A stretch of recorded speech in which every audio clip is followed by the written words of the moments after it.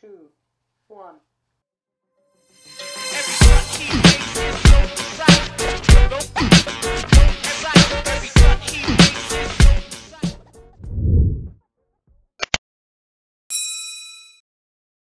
What's up Gadgeteers, my name is Hector and this is Gadget Beard and on this channel I unbox and review everyday tech, gadgets, and accessories for you. And on today's video, we're going to show you how to get screen recording natively on the Pixel 4 and Pixel 4 XL. Now keep in mind that this is a hack almost. It's not an official release by Android, but we can hack it through an ADB command uh, but it's not the best quality. There is bugs, but if you absolutely want to get screen recording natively on your Pixel 4 or Pixel 4 XL, this is how to do it. Okay, so we're gonna head over to 9 to 5 Google because they're the ones who release the actual hack. Um, so head on over to the website and look for an article that was released on January 14th and it does say how to enable Android's built-in screen recorder on Pixel and they give you a, a little runaround about uh, what to expect and on what pixels you can use it. You can use it actually on the Pixel 2, 3, 3a, and Pixel 4. So pretty much all of them but the OG Pixel. And you do need to uh, have ADB command set up on your PC. If you don't know how to do that, uh, head over to here. They, they actually route you to a place where they'll actually show you uh, some basic instructions on how to set that up on your computer and you there is a link right here that you can actually click and uh, they will set your computer for ADB command for your Android device. Now the rest is relatively simple if you already have ADB command on your computer it's as simple as plugging in your Pixel 4, Pixel 3, 3a, or 2 onto your computer and just running this ADB shell setting uh, command here.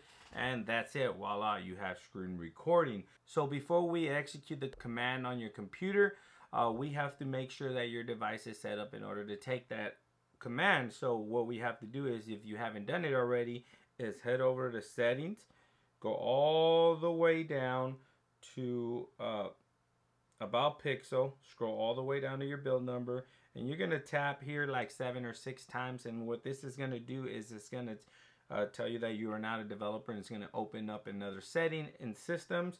So now we want to go back, go to systems, advanced, go to developer options, and you're gonna have to hit that on. Well, it's already gonna be on, and you're gonna screen scroll all the way to where it says debugging and enable USB debugging and if you want to enable the verify apps over USB and verified uh, bytecode of debugging, debugging apps, you can, but just not necessary.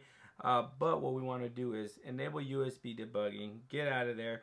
So now your current setup to plug into your computer and run that the command. So what we want to do is have a USB cable here connected to the computer you don't have to turn off the device and do anything. It's currently on and it's gonna allow you to to connect. And what we're gonna do is, this is how I normally do it. I just copy the command. I'll run out here to search. I'll paste it and it's gonna give me the command shell there. So basically I'm just gonna click on that and voila, it ran the command. It's gonna uh, when you connect your phone's gonna ask you if you can connect or, or ADB debugging if you're gonna allow it. Uh, you hit OK and boom, voila, your phone is capable of screen recording. Now what I'm gonna show you is how to activate or how to go into the menu of screen recording. So what we're gonna do is, I'm currently screen recording right now, is hold the power button, which I just pressed it. We're gonna hold the power button. We're gonna hold screenshot, we're gonna hold and press. And then as you can see, second menu comes out where it says record voiceover, taps or whatever. And you can start recording there. And um, if you choose to do that, let's see if we can do that. Bam, hold it, boom, start recording. It's, you're gonna get a uh, message saying exposing sensitivity is issue during your cache recording. Other people can see anything on your screen. You hit now, boom, starts recording. So in order to stop this recording is you're gonna have to pull down once you're done and you can do stop, pause, or cancel. And it gives you a little runner time on top of how much you're currently recording. And let's go ahead and hit stop. Now, one thing I did notice on mine is that the quality of itself is still a little bit buggy. It's a little jittery and not so good quality.